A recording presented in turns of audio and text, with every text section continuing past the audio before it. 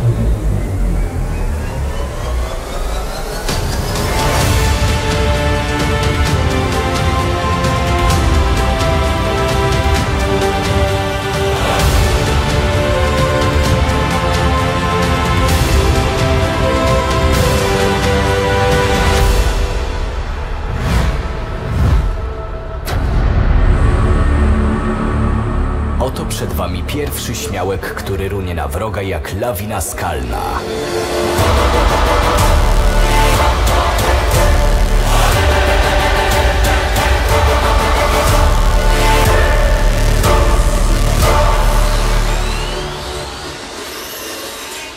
Jacob Raxon.